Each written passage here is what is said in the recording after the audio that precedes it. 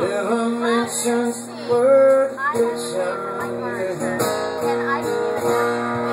Answer you, God.